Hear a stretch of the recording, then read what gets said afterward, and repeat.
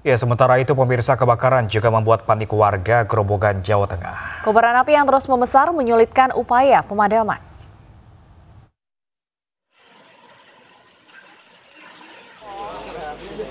Kobaran api Senin dini hari membakar rumah warga di Desa Kuripan, Kecamatan Purwodadi, Grobogan, Jawa Tengah.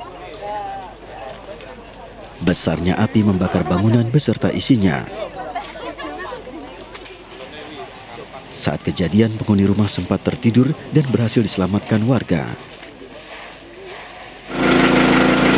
teriak-teriak api udah menyebar eh. udah besar terus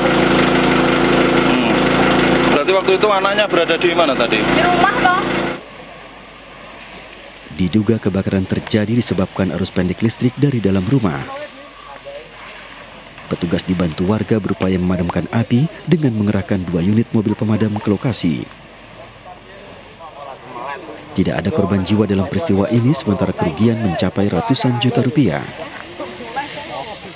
Dari Grobogan, Jawa Tengah, Rustaman Nusantara, iNews melaporkan.